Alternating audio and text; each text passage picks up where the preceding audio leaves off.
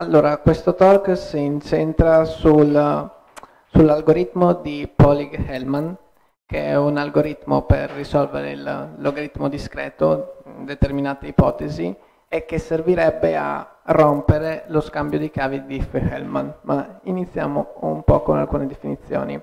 Allora, la crittografia si divide in due macrogruppi. Una, la più antica, è la crittografia a chiave segreta, Mm, fino agli anni 70 o poco prima si è sempre ipotizzato che il miglior modo per comunicare in maniera, in maniera segreta, quindi o comunque sicura, fosse dare il minimo numero di informazioni alle altre persone. Quindi i cifrari erano, o i criptosistemi erano tutti a chiave simmetrica, ehm, a chiave segreta, o anche detti criptosistemi simmetrici, cioè la chiave per criptare e decriptare era sempre la stessa, diciamo, o comunque ricavabile l'uno dall'altra. Alcuni esempi classici sono il cifrario di Cesare, che vabbè, lo conosciamo tutti, e DES, che è nato negli anni 70 ed era un cifrario simmetrico molto più complesso di quello di Cesare, ma comunque simmetrico. La problematica di questo cifrario è che bisogna passarsi la chiave in qualche modo in maniera sicura. Poi è nata la crittografia chiave pubblica o crittografia asimmetrica.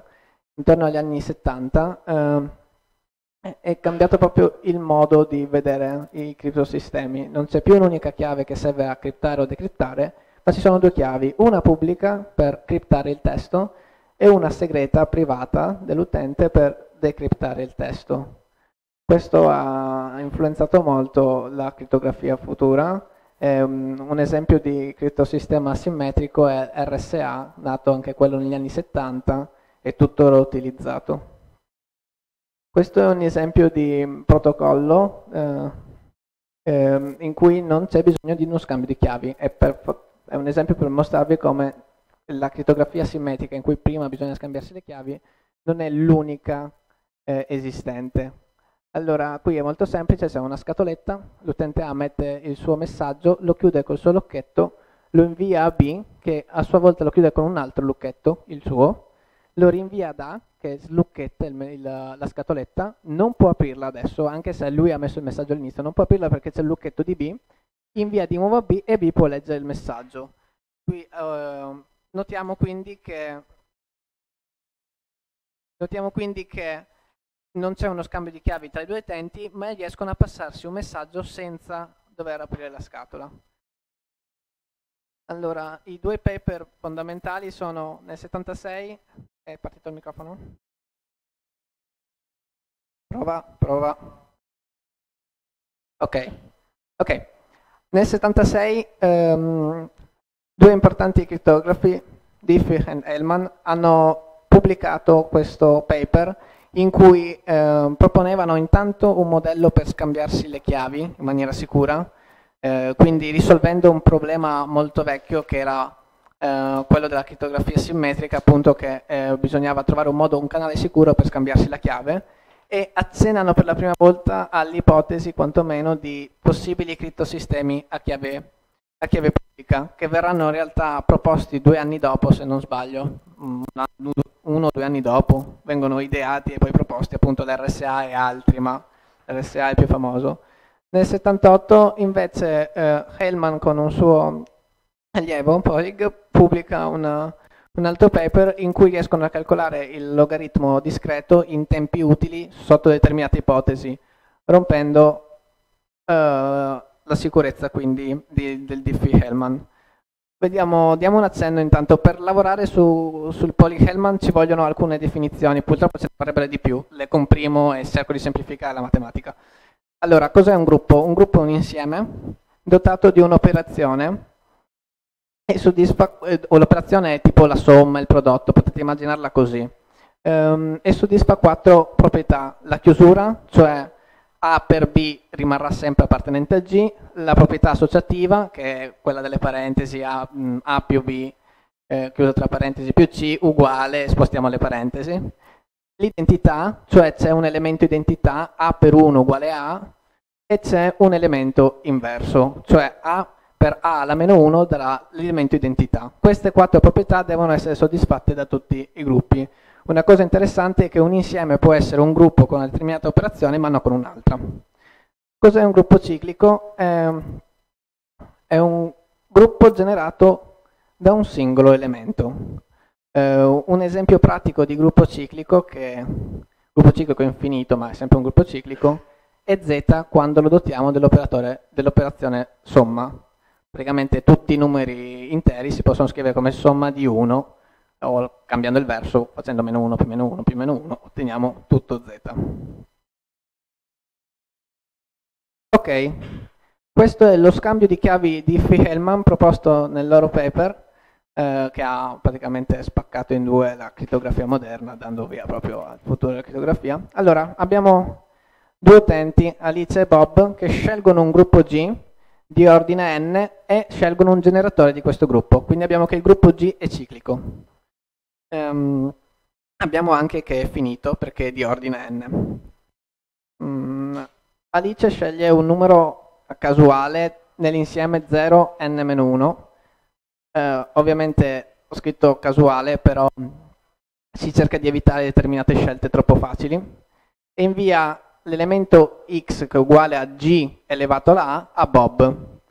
Bob fa la stessa identica cosa, cioè sceglie un elemento b a caso nello stesso insieme di a, eh, calcola g alla b e lo invia ad Alice.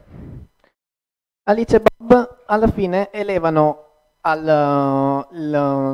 l'elemento Alice eleva y, cioè g alla b, lo eleva eh, alla a Invece Bob eleva x che è a alla b, ottenendo lo stesso valore. Quindi hanno ottenuto il medesimo valore che è la loro chiave con cui potranno poi, che potranno poi utilizzare dove? dove? In, una, in un criptosistema simmetrico, quindi di solito è comoda per scambiarsi le chiavi di DES per esempio. O almeno lo era. L'esempio, questo è un esempio, un'immagine presa da Wikipedia, che fa l'esempio con i colori per spiegare come funziona. Appunto Alice e Bob scelgono un colore in comune, hanno il loro colore segreto, si scambiano il, il prodotto dei colori, a questo punto calcolano nuovamente la potenza e ottengono il colore in comune. Ok.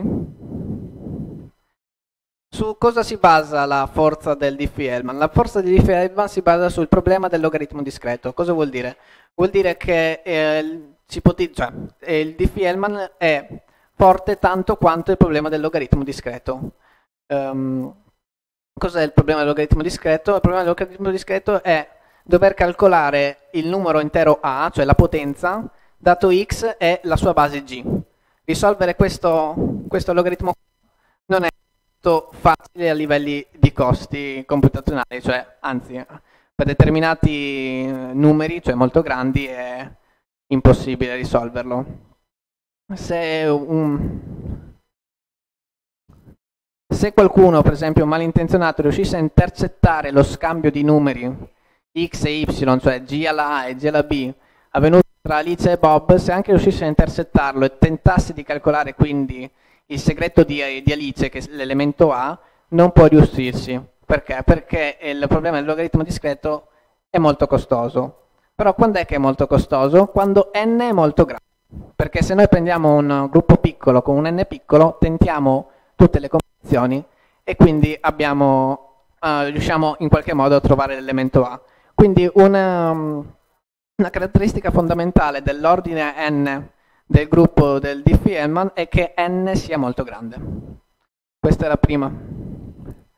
Adesso, bon, intro, mh, mm, introdurrò l'algoritmo di Pauli-Hellman da un punto di vista matematico, cioè spiegherò come mai funziona bene e mh, ci vogliono alcuni prerequisiti. Uh, ho cercato di limare i concetti e renderli più semplici possibili. Allora, un gruppo ciclico di ordine n è isomorfo a Zn+, che cos'è? È, è, il gruppo delle classi modulo resto di n dotato dell'operazione somma. Cosa vuol dire? È un gruppo di elementi che vanno da 0 a n-1, eh, quando si sommano gli elementi e si, supera, si arriva a n, si riparte da 0, e appunto è dotato dell'operazione somma per essere un gruppo. Calcolare il logaritmo discreto di base G, dove G è il generatore di, del nostro gruppo G, equivale a trovare l'isomorfismo tra eh, il gruppo G e Zn, dove il nostro isomorfismo manda G nell'unità di, di Zn. Quindi questi due problemi sono uh, simili, Trovare, risolvere uno dei due è equivalente. Un, altro prerequisito è questo, ok, è bruttino visto così, ma lo semplifico. Uh, L'ordine del gruppo n, um, n1 e n2 sono due fattori di n e sono coprimi tra loro, cioè vuol dire che, che il massimo comune divisione in comune è, è 1. Adesso in G si riescono a trovare questi due sottogruppi, H1 e H2. Esistono, ci sono, mh, mm, non c'è la dimostrazione perché ho deciso di saltare le parti più tecniche. Eh, si definiscono due omomorfismi che vanno da G in H1 e da G in H2. A questo punto è possibile definire un isomorfismo tra gruppi, tra G e il gruppo prodotto H1-H2. Eh, quindi cosa stiamo, stiamo, mm, creando? Abbiamo appena creato un, un isomorfismo, che cos'è un isomorfismo? È un'applicazione che manda tutti gli elementi del gruppo G nel gruppo H1 per H2 eh, rispetto a determinate buone proprietà, ad esempio manda l'unità nel, di G nell'unità di H1 H, mm, per H2 ed è invertibile perché questa è la comunità, cioè mappa tutti gli elementi di un insieme nell'altro e si può fare anche il viceversa. È poco formale come spiegazione, ma per farvi capire. Questo è un, un diagramma commutativo. Prima abbiamo definito questo lambda qui, abbiamo detto se eh, vogliamo calcolare il logaritmo discreto dobbiamo trovare questo isomorfismo tra gruppi, quindi sappiamo che questo è un isomorfismo.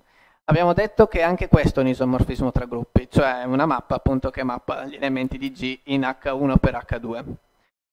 Questo qui è un altro isomorfismo, è molto semplice, avevamo definito lambda come isomorfismo che manda G in Zn. Eh, H1 e H2 hanno a loro volta degli ordini, cioè l'ordine di H1 è N2 e l'ordine di H2 è N1, se ricordo bene come li ho scritti e quindi questo, non è altro, eh, questo lambda 1 non è altro che come questo lambda qua, solo che manda H1 in Zn1 è uguale per H2. Quindi questo è un isomorfismo che manda H1 per H2 in Zn1 per, eh, per Zn2.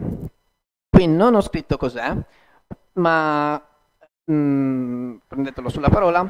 Praticamente, grazie a, siccome N1 e N2 erano coprimi, grazie al teorema, mm, teorema cinese del resto, esiste un isomorfismo tra anelli Zn e, Z, e il prodotto Zn1 e Zn2 e quindi anche un uh, isomorfismo tra gruppi quando si prende appunto il gruppo moltiplicativo.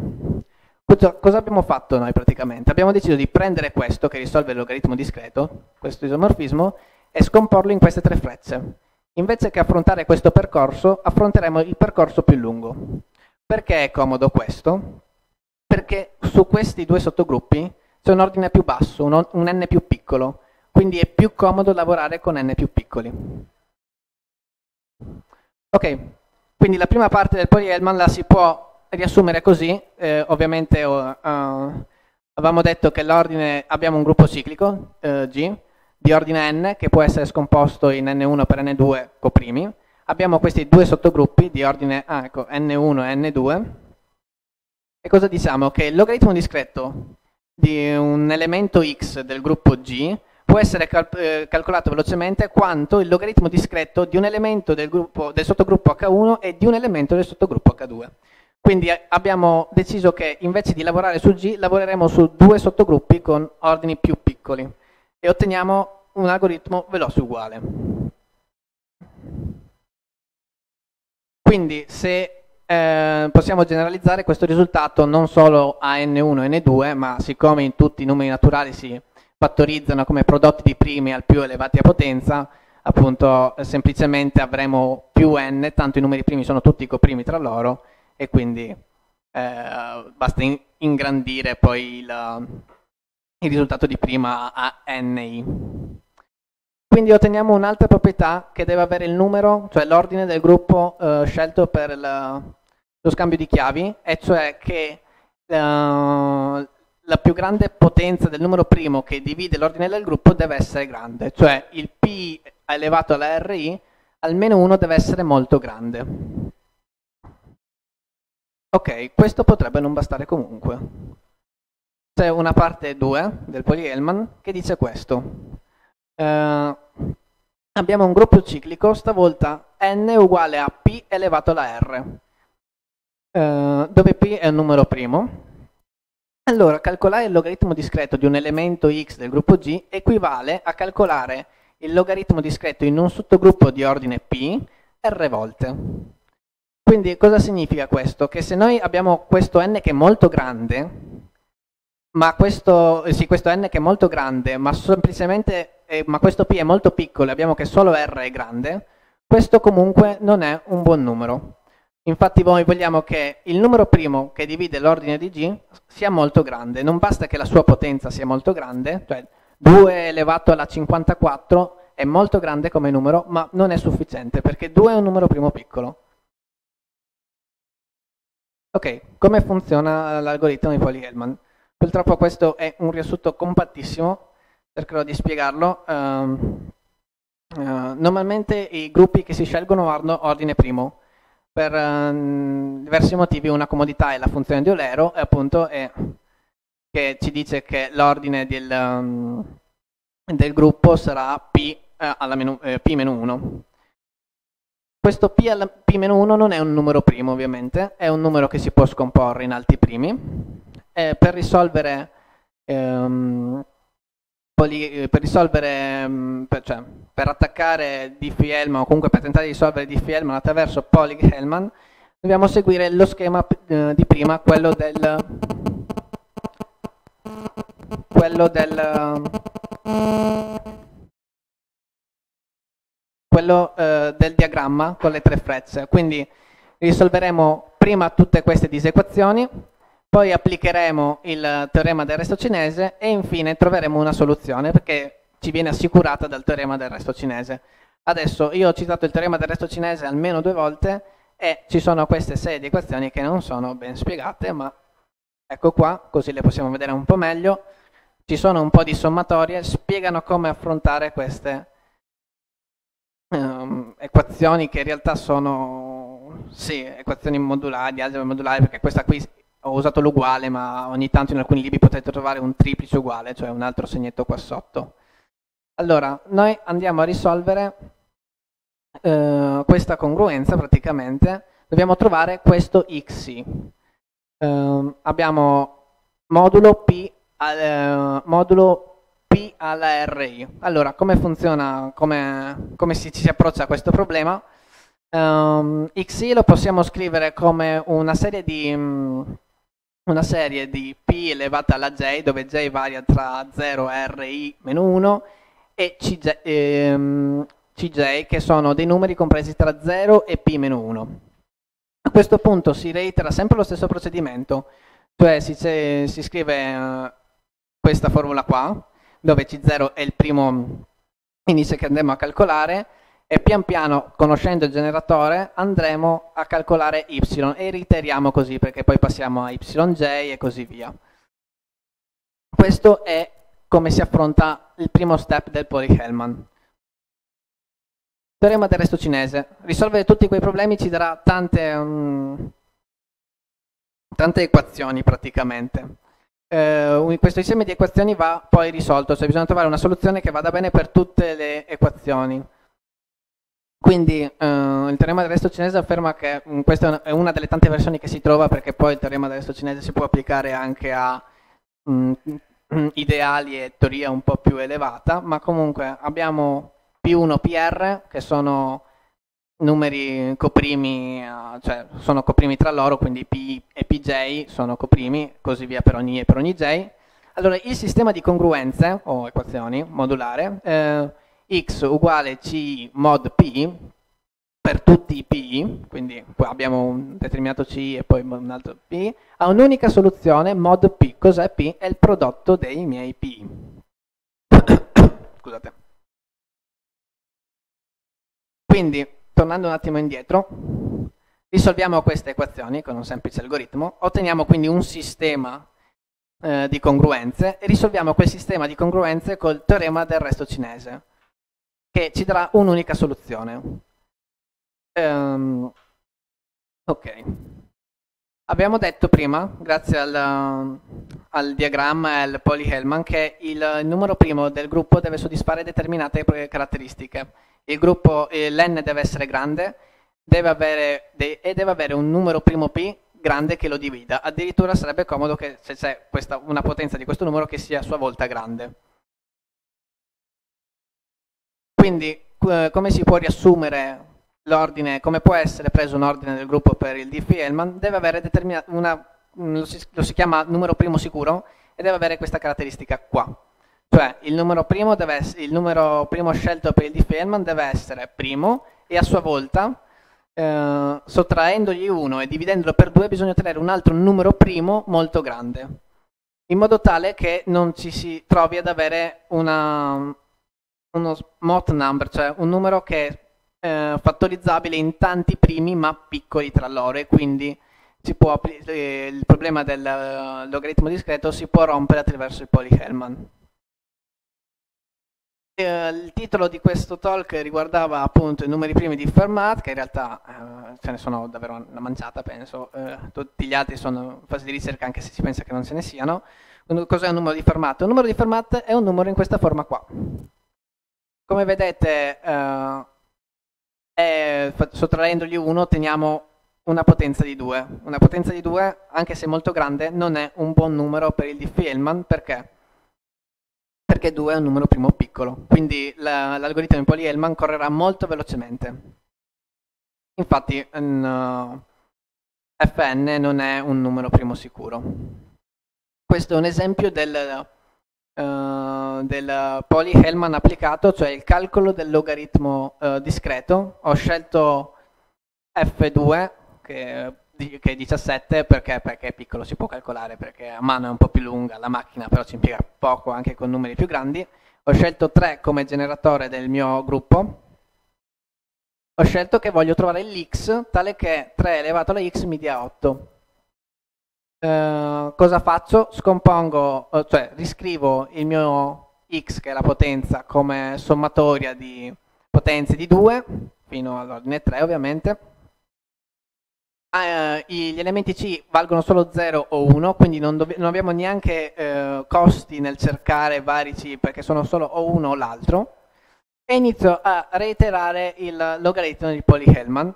Purtroppo l'ho fatto in forma molto compatta, eh, ho una lavagna però mi trattengo, ok. Eh, abbiamo questo, il, numero 8 che è quello appunto scelto iniziale, il nostro y, lo eleviamo all'inizio alla, mm, a cosa? A p la meno 1, cioè a 16, e poi lo dividiamo per 2. 2 cos'è? 2 alla, alla 1 in questo caso. Si potrebbe formalizzare tutta la, la scritta, però purtroppo non l'ho fatto. Uh, a questo punto si trova che 8 elevato alla 2 alla terza uguale a 1, mod 17, quindi quale, quale C0 può andare qui che soddisfa questa equazione? Ovviamente uh, C0 deve essere uguale a 0 perché 3 alla 0 fa 1 e quindi risolviamo il primo passo. Ripetiamo, reiteriamo il secondo passaggio, più o meno simile, solo che avremo che qua abbiamo P-1 diviso 2 alla J più 1 rispetto al passaggio precedente, vediamo che questo, questo numero qua, mod 17 è uguale a 16, quale, quale C soddisfa questa congruenza? C uguale a 1 e quindi C1 uguale a 1. Ripetiamo questo passaggio fino a ultimare, non ha particolari costi perché qua abbiamo solo due numeri e 2 è un numero primo piccolo, e otteniamo cosa? Otteniamo che C1 deve essere uguale a 1 e C3 deve essere uguale a 1. Quindi la nostra x sarà semplicemente uguale a 1 per 2 più eh, 1 per 2 alla terza, cioè 10. E abbiamo risolto così un esempio appunto applicato il numero di Fermat del, uh, del uh, logaritmo discreto con uh, Pauli-Hellman, che è molto veloce e non funziona bene con tutti i primi appunto, anche se nel 76 all'inizio non, non, si era pensato, appena proposto. Eh. È la, sì. Questa è la bibliografia, è un QR code perché ho compresso tutto quanto, ci sono all'interno alcuni PDF utilizzati e, eh, e altri link utili sull'argomento. Domande?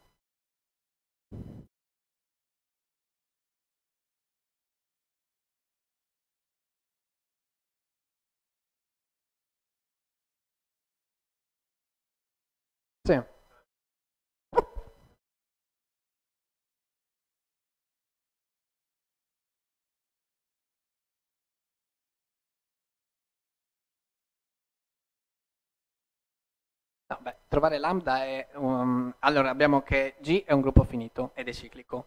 Trovare, eh, tu vuoi, non vuoi trovare solo un lambda, non vuoi trovare solo un isomorfismo tra i gruppi, vuoi trovare un isomorfismo che mandi il generatore del...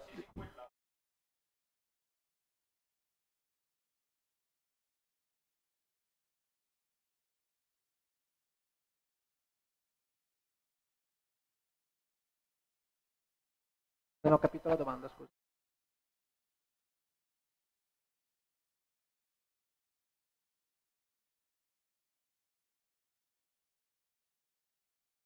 Non proprio, non si utilizzano... No, allora, eh, l'idea di trovare l'isomorfismo tra gruppi utilizzando il, um, gruppo, il gruppo additivo Zn è semplicemente sul fatto che per trovare il logaritmo, trovare il logaritmo discreto tu prendi, le, prendi il generatore e lo levi a potenza tutte le volte finché non arrivi all'ordine.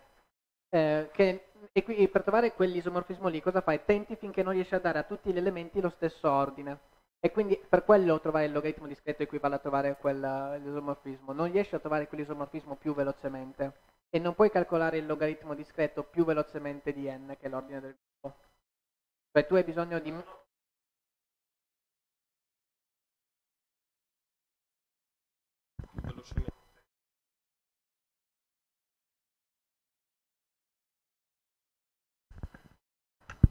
Perché? Allora, mh, mm,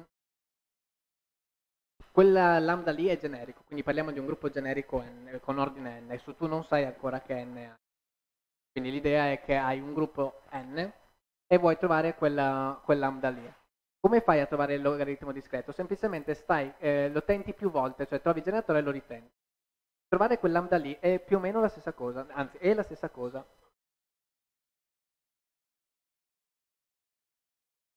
La mia domanda è, di fronte a un problema concreto di risolvere quel, quell'equazione n uguale... No, eh, Aspetta, ti porto, ti porto uh... Allora, dimmi questo, o vuoi andare in un'altra slide? Dimmi. No, vabbè, non importa. Okay. Eh, quando devo, ho g alla x uguale a qualcosa. Ok, g alla x uguale a. E io voglio trovare quell'x. Sì. Se, come faccio a sapere che quel problema è tanto difficile quanto di sicuro è meno difficile che trovare, eh, cioè di sicuro ho trovato il, il mio isomorfismo, cioè quando ho fatto tutte le possibilità ho risolto anche quel problema, uh-huh. ma come faccio a sapere che non c'è un modo più veloce per risolvere quel problema che non comporta passare tutte le... Infatti, Poli Elma sta dicendo questo, all'inizio si pensava che fosse così, cioè ah, vado e tento tutto quanto praticamente. Poli Elma dice no, non è così perché per determinati numeri io posso calcolare più velocemente questo, fare il, il calcolo del logaritmo discreto più velocemente di quanto non farlo appunto a tentativi. Se però il numero primo, cioè se il numero scelto è un numero con determinate proprietà, tu ti ritroverai comunque a farlo a tentativi. Per esempio per un numero primo molto grande che ha la proprietà che è p-1 è uguale a due volte un numero primo altrettanto grande, lì non puoi andare, non, non c'è una tecnica che vada più veloce dell'andare a tentativi, cioè non c'è una tecnica migliore per ora. Se poi verrà trovata è... È un'affermazione che non è dimostrata. N Per ora, è, cioè, eh, per ora il logaritmo discreto non è risolvibile in tempi utili, eccetto in alcuni casi. Che quel numero là è sicuro, mi stai chiedendo questo? Sì. Ok, semplicemente per esclusione, cioè per ora è che eh, Poli-Hellman calcola velocemente il logaritmo per questi numeri qua, quindi io prendo un numero che non sia calcolabile velocemente dal Poli-Hellman. Eh, però è perché il logaritmo dischetto è considerato non risolvibile, non è dimostrato che è non risolvibile. È questo il punto, come molti problemi di... come la fattorizzazione. Noi consideriamo i problemi di fattorizzazione non risolvibili per ora. In realtà se uno lo risolvesse buttiamo via tutto quello che abbiamo scritto finora.